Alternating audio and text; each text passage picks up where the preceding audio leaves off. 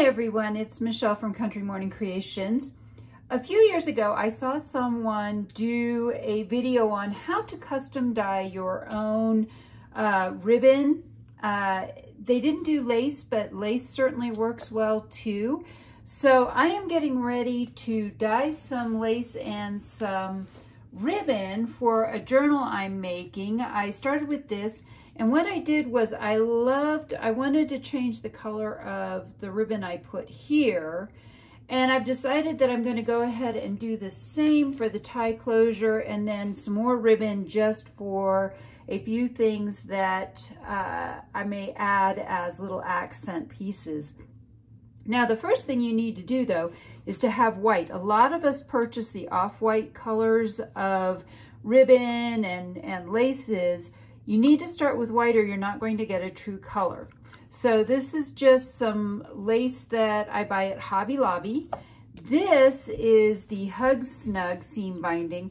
I get this off of Amazon. I have never been able to find it anywhere else. So I'm going to use some of this seam binding. You could also use white sari silk if you can find that. That's kind of a tougher thing.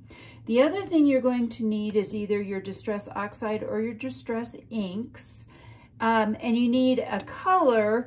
Uh, and then whoever did it used the antique linen. That kind of softens the color a little bit so it's not quite so harsh and it looks a little bit more natural. And then last but not least, you need a water spray bottle. So let's get into this real quickly. I'm going to measure off a little bit of this ribbon. Um, I'm not exactly sure how much I'm going to need, but that about looks right for the first piece that I need.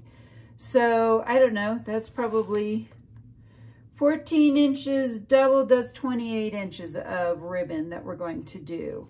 And the other thing that's fun with this is that the way you let it dry is you let it get all wrinkly, which is awesome. I love wrinkly ribbon. So what you do, you start out with your distress ink and start by putting down some linen. Uh, let me move that out of the way. It's hard to see that it's actually going down and it's hard to see, but it's, trust me, it's there. You just want to pat it around. Then you're going to take the color that you're using and just do a couple of pats on that. And then you're going to come back and add more as you need it. This is quite a bit. Next, you take your spray bottle and you're going to just spray it a little bit. Then this is the easy part. You just take your ribbon and you're going to rub it around and kind of wipe all of that up again. So you can see this is a very light color. I'm going to put down some more ink and do this again to get some more color. And I think this time I'm going to put much more of the speckled egg distress oxide. Yes, I do take the time to put my lids back on them because I live in Colorado. It is very dry here, so um, it things dry out very quickly. All right, now I think I have enough. This should work for this amount of ribbon. So a little bit more water. Not a ton, you don't need a ton.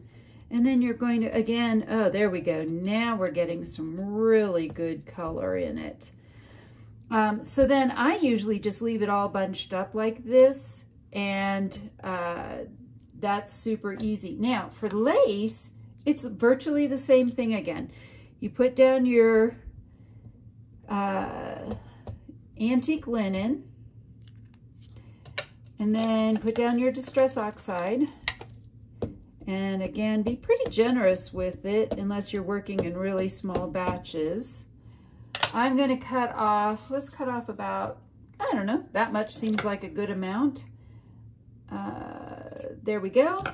And give your couple of spritzes. That probably is enough. And then again, just start rubbing it around in it. Um, you may need to go back and add more, keep rubbing it. Again, Colorado, this is drying pretty quickly.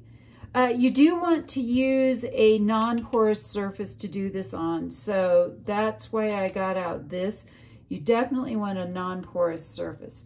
So now you can see the color coming up also on the lace. And you just keep repeating that until you get what you want. So I hope you enjoyed this quick little tutorial on how to custom color your ribbons and your laces to match your journals. And I hope I've inspired you to be creative today.